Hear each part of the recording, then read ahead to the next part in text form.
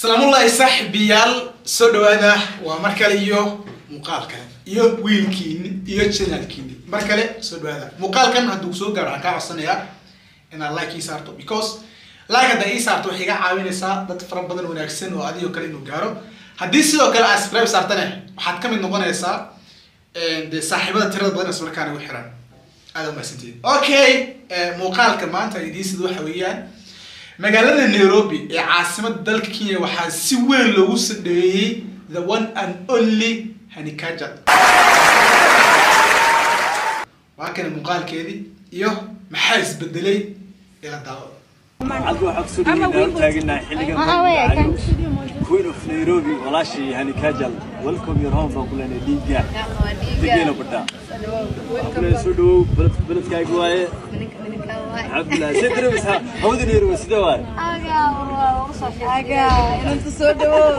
okay hani mar kale waxaan ku leeyahay ku soo dhawow magaaladaadii magaalo lagaa jecel yahay magaalo runtii aada u qurux badan dad qurux badan wanaagsan ay joogaan ku soo dhawow inta aan ka soo gudbo gabadha ayada soo dhaweynteedii waxaa qayb ka ahayeen ninkii la yihahdo abwaan hanad gabadhii fanaanada heather express head iyo dhalinyar kaloo isla markaana tidkora sida gabadha triiki la yidhaahdo zay zay gabadha kalena magaceed ma garan laakiin iyaduna waxaan aaminsanahay inta gabdhaha soomaaliyeed isla markaana tiktok isticmaalo marka ayaguna way ku mahadsan yihiin hani waxaa la soconay muddooyinkii ugu dambeeyey inay hargeysa joogtay. Inkastoo xamarna ay soo martay sidoo kale magaalada gaariso ay ku dhalatay ay soo martay waqti ay joogtay. Laakiin safarkeeda markii waad wuxuu hargeysa. Hargeysana markii xag loo fiiriyo dee ninkeedii baa joogaa oo micnaha halkaas waa lagu guursaday. Laakiin dadka reer hargeyso gabadha ayadaa si fiican uma soo dhaweynino waxaa arkay mararka qaarkood ayagoo commentaal qaldan u qoriya marka waxaan leeyahay hani ka meero wixii ku soo maray. Runtii markaasaa leeyahay maahan inaan colaad dooni inaan ka dhex dhaliyo iyada iyo sidoo kale ninkeeda laakiinse gabadha ayada maa dhexdaas qoraal bay soo qortay. Waxay tiri waxaa nii hayaa xogo tiro badan. Micnaha xan fresh ah inii wadaa youtuberleyda dhalinyarta soomaaliyeed annagoo kaleetana dee xanta noocaas way nooga baxdaa because xan haddii soo baxdo waa ka beriisanayna ma fahmaysaa? Intaan waa iskaftan waxaana marka gabadhan markay soo dhawaato runtii waa dee sharaf weeyaan. Dadkii micnaha ka qayb qaatay waa gabar dee asluub badan sharaf badan runtii quruxna badan. Marka waxaan leenahay magaalada ku soo dhawo intaa ka soo waxaan rabaa oo micnaha ugu kaliftay in aan muuqaalkeeda soo qaato. Gabadhani gabdhaha soo dhaweynayeen micnaha isku qiil maysan ahayn. Kala qiil baahan laakiinse waa gabdho soomaaliyeed oo saaxiibo ah kuna saaxiibeen social media marka iyadu qofka maanta airportka mise meesha micnaha garoonka diyaaradaha laga soo dhaweynayay qof madax oo siyaasi soomaaliyeed muusan ahayn. Gabar yaroo tiktokerad baa saa loo soo dhaweynayay dadkeedaana sharfeen walaalaheed baa sharfeen. Marka waxaa la rabaa gabdhaha soomaaliyeed in sidaa loo ixtiraamo iska qurux badan tahay.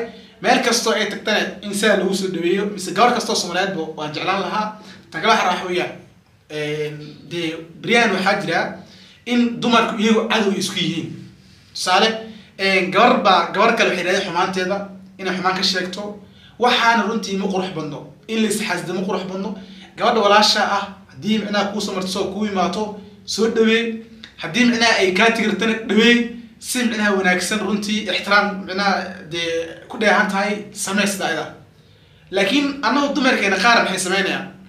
Gabar ay ceesh wadaag ahaayeen oo saaxiib ay yihiin bay aflagaadeynayaan xumaan bay ka sheegayaan xumaanteeda la wareejinayaa kuwaa waxay sameynayaan gabdho kale oo saaxiib ay yihiin bay micnaha muuqaalo ka duwaan anshaa xun markaas soo bandhigayaan. Marka waxaas wax qurux badan baa marka. Dadku waxaa la rabaa sidii maanta rasmraas iyo gabadha la soo dhaweynayay ee isku yihiin oo kaleeto ee isku jecel yihiin in qof kasto mise gabar kasto tiktok isticmaasho gabadha kale inay sa u ixtiraamto weliba dumar baa isatiin in ay is ixtiraamtaan bay qurux badan tahay. Oo dee waxaan dhihi lahaa beryahan dee dhibaato baa soo badatay.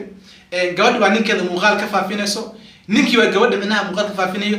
Gabar waxaa arkay la yihahda caasho tiktoka aad bay ugu badan tahay live bay soo gashaa.